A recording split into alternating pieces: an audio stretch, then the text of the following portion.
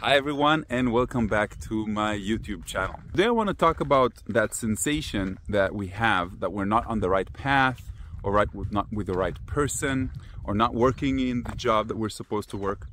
And to do that, we first need to define guidance. Guidance is something that pulls us and knows ahead of time where we need to go and what we need to do.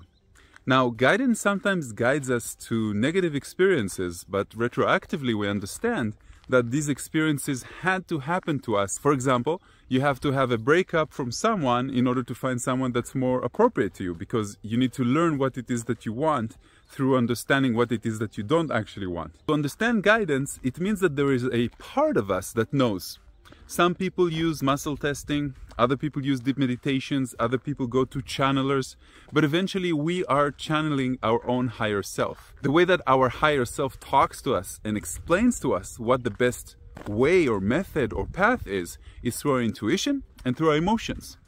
As clear and easy as that. What does that mean? When you are conversing with someone and you're bored crazy and you're like, what the hell am I doing here? And you're trying to please someone by doing that, your intuition is telling you something is off. Your feelings are telling you something's off. It doesn't matter what type of negative emotion it is, something's off. And then you know you're not supposed to be there, right? Same thing with the job. If you're working your nine to five and you're counting the days until the weekend and you're counting the hours until you end your shift, you can say, then you're probably not enjoying what it is that you do. Okay, you might enjoy it if you do it two days a week, but that's not the proper job for you. Now, again, I'm not going into details, everyone has their own story, but I can tell you, I can even guarantee that if you leave a non supporting relationship, or if you quit a job that no longer defines who you are, the universe will find a way to provide you with a new set of parameters, with a new type of experience that is more aligned and appropriate with the person that you are today. It's as simple as that. And you have to trust it. You have to trust your intuition because your intuition is never wrong. Even when you think that it's wrong, you will find that retroactively it was right for the person that you needed to be, for the experience that you needed to go through. So when we're talking about guidance and understanding if we are on the path, the right path, or off the right path, just ask yourself, how do I feel every day? Just ask yourself, how do I feel with this person? Ask yourself, how do I feel doing the job that I'm doing? How do I feel with my body? Do I look in the mirror and my body is saying, eh, and I feel off about it? It means that I'm not doing something right. Our intuition is telling us that we need to provide the body with a better human experience. It's either by working out or eating less or eating more salads or whatever it is that you already know.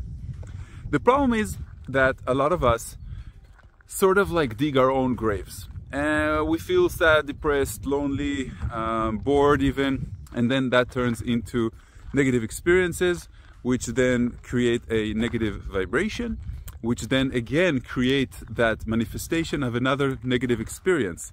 And then some people get stuck in that. It's like it's a loop. Then when you get wiser and older, and you let go of expectations and you let go of everything that you thought is real and you just accept your intuition and just accept your higher self and you just accept your life, things become much easier for you. You want to ask yourself almost every day to raise your awareness to your thoughts, to your beliefs, and to the way that you feel.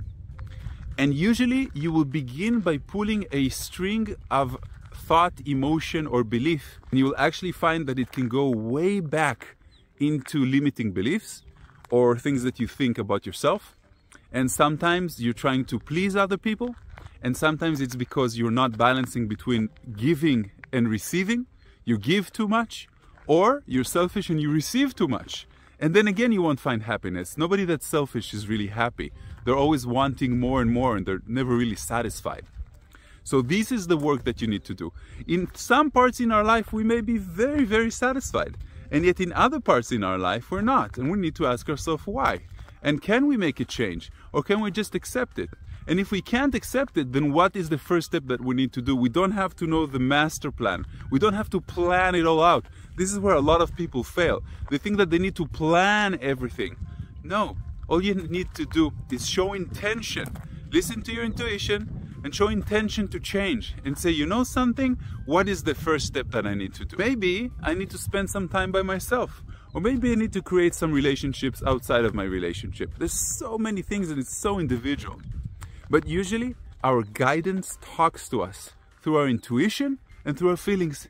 If everything was perfectly aligned, you would not need anything at all.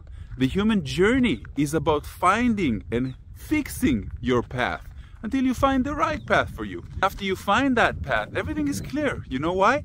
Because you don't have any thoughts about the future, you don't have any thoughts about the past, you're much more in the moment and you're much more present. And this is how you know that you are where you're supposed to be. When you're just content. That's it, my friends. If you enjoyed this video, please like and subscribe to my channel. And if you want to join one of my life-changing workshops around the world, take a look at my full schedule at raymaor.com. Namaste and have a good day.